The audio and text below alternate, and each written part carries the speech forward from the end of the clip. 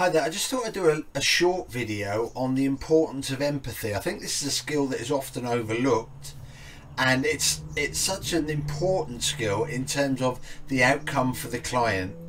Now it would help really to have a definition I guess of what empathy is or maybe even more so what empathy is not. So it's basically not having had the same experience or problem. So you don't need to have been overweight, unfit, whatever. You'd often hear people kind of using that as an example. That is not displaying empathy.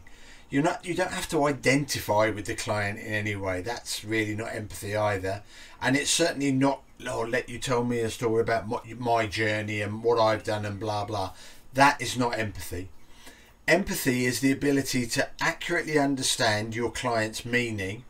So that's employing your active listening skills, a skill that we teach a lot on in, within motivational interviewing.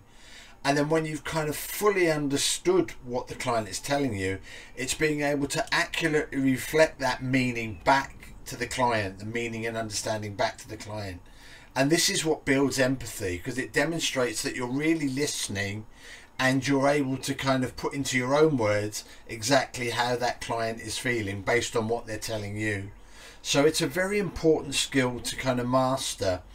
Uh, some research that was done by Professor Terry Moyers from the University of New Mexico has found that empathy alone was the biggest single indicator of success in various addiction therapies, so drugs, smoking, alcohol, and that the level of empathy that a counsellor could demonstrate was the biggest single indicator of success for the client, and that was over uh, over and above experience, kind of knowledge, whatever. So having accurate empathy and being able to display accurate empathy to your client is a really important skill to master and something we spend quite a bit of time working on within the MI workshop. And your clients will feel so much better for you displaying that level of empathy. So I hope you found that useful. As I say, just a quick video because I thought it was something that maybe should get out there.